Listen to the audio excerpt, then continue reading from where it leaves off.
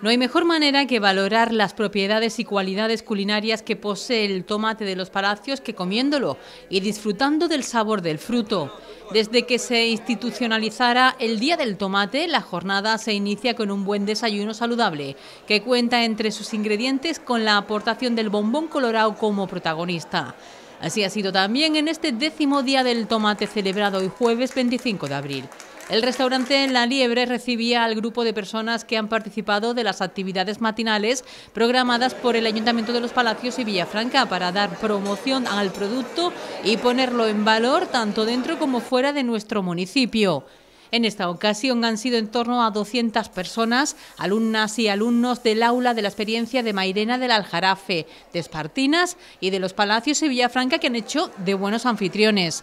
Los participantes de este décimo Día del Tomate han estado acompañados por el alcalde de los Palacios y Villafranca, Juan Manuel Valle, también presidente de la Asociación de Productores del Tomate, que se encargaba de dar la bienvenida en este que también es un día de convivencia, protagonizado por el producto estrella de nuestra localidad. Cuando pusimos en marcha la iniciativa, lo hicimos con la idea de, fomentar nuestro bombón colorado, que se conociese de ir educando también a nuestros embajadores, a la población, para que eh, creyésemos en las posibilidades que teníamos dando a conocer el, bombón colorado más allá de nuestro término y haciendo también que nuestras cooperativas pues cooperasen.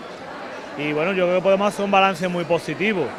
Y el, cómo se ha consolidado ya el día del tomate de los palacios en el calendario como uno de los días grandes y además un día muy bonito en el que fomentamos la convivencia vienen a visitarnos todos los años, pues unas veces alumnos de distintas etapas educativas, con la idea con la que pusimos en marcha este día que era formar a los embajadores del tomate de los palacios, que supieran cómo se cultiva, la calidad que tiene, la riqueza, el empleo que se genera, lo que representa de verdad para el pueblo de los palacios y Villafranca.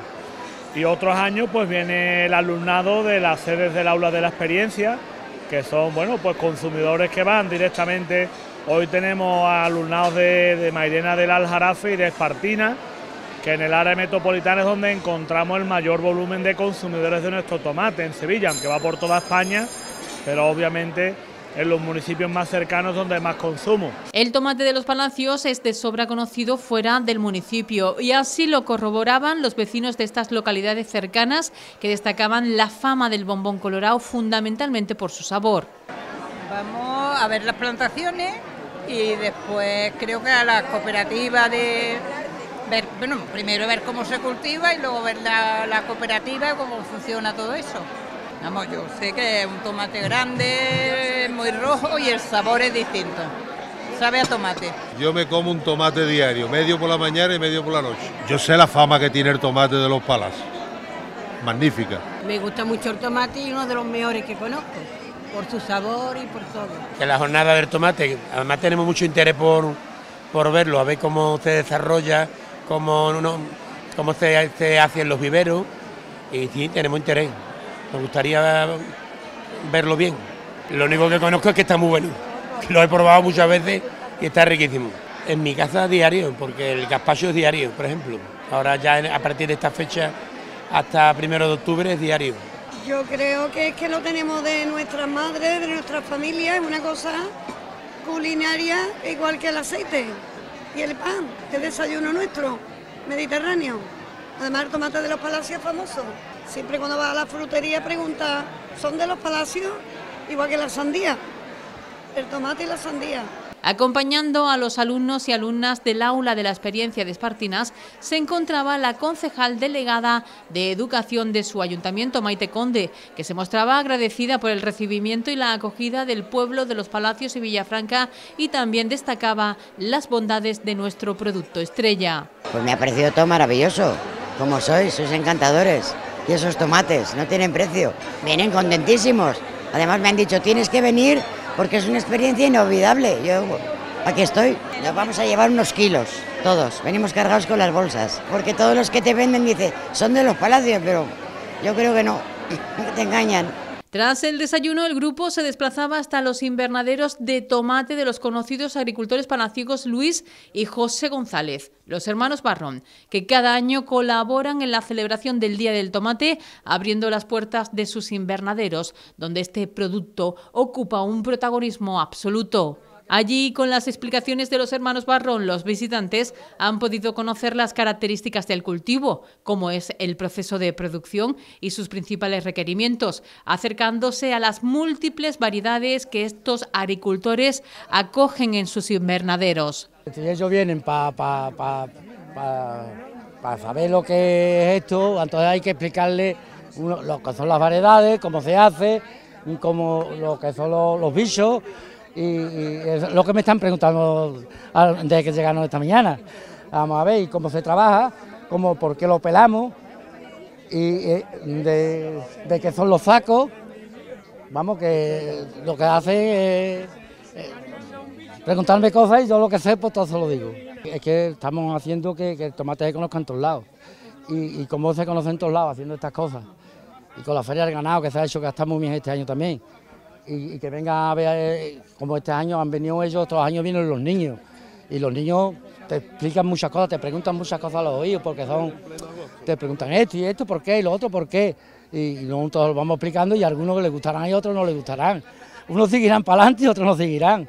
Junto a los agricultores, el propio alcalde Palaciego también mostraba sus conocimientos sobre el tomate y orgulloso de lo que supone este producto para el movimiento socioeconómico de la localidad. Van a salir impresionados de la imagen que se percibe cuando están en un invernadero, de la calidad y el mismo con el que nuestros manchoneros y manchoneras pues cultivan el tomate y luego el volumen de producción que ya empieza a tener mucha importancia en las distintas empresas que forman parte de la Asociación de Productores del Tomate. Eso es lo que perseguíamos, ya son 10 ediciones, que se dice pronto, los años pasan muy, muy rápido, pero yo creo que podemos sacar un balance muy positivo en cuanto a cómo se ha multiplicado el volumen de producción, a cómo se ha estabilizado y ha ido mejorando el precio medio del kilo del tomate y también a cómo van surgiendo pues nuevas iniciativas empresariales en las que se apuesta por transformar el tomate, bien con la tomatería palaciega, bien con tierra palaciega y yo auguro que en los próximos años van a ir los emprendedores encontrando oportunidades en torno al tomate en otros productos que van a ir haciendo pues que siga creciendo pues el nombre de nuestro bombón colorado, el prestigio y sobre todo que es para lo que trabajamos, que siga teniendo una influencia grande en la dinamización de la economía de nuestro pueblo. Tras la visita a los invernaderos y conocer la realidad del tomate de los Palacios y Villafranca en el propio campo, todavía en su mata, las visitas quedaron sorprendidas, quedando totalmente refrendado así el prestigio que tiene el tomate de los Palacios. El cultivo tiene mucho interés. Yo quisiera llevarme una matita para sembrarla en mi huertecito que tengo yo particular en mi casa pero todo, la, atención, las explicaciones, todo nos llama la atención. Con visita y sin visita, el prestigio de los tomates, por algo por allí vamos mirando a ver si hay tomates de los palacios. Los palacios nos acogen maravillosamente y tenéis unos tomates para llevarnos alguna mata. Muy bien, fenomenal. Yo creo que es un disfrute saber y conocer lo que nos dicen los, los agricultores y sobre todo apreciar in situ el trabajo de ellos. ¿no? Es formidable. Es verdad que el prestigio se lo damos entre todos, ¿no? Y de alguna manera ya este prestigio no, no es de hoy, es de hace ya muchos años, ¿no? Yo de hecho creo que casi todos los que estamos aquí hemos comido tomate de los palacios en alguna ocasión. Incluso cuando compras tomate, pues busca un poco la marca, ¿no? La marca de los palacios.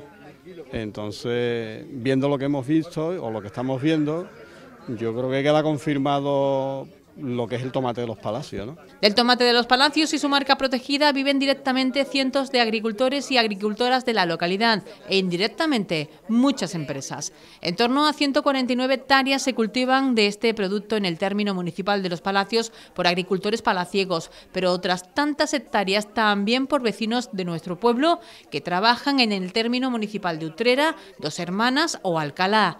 Toda la producción que se alcanza en cada campaña se comercializa por las empresas y cooperativas de los Palacios y Villafranca que en este décimo día del tomate también han podido ser visitadas. Así, en la cooperativa de las Nieves, su presidente Pedro Parejo, en Frupal, el director gerente Alonso Navarro y en la cooperativa Parque Norte, su gerente José Manuel Durán, han servido de guías en sus respectivas empresas donde han dado a conocer cómo llega el producto, cómo pasa a las máquinas calibradoras y envasadoras y cómo el tomate termina preparándose para estar en los mercados de toda España, así como en otros países europeos, ya sea Francia o Portugal.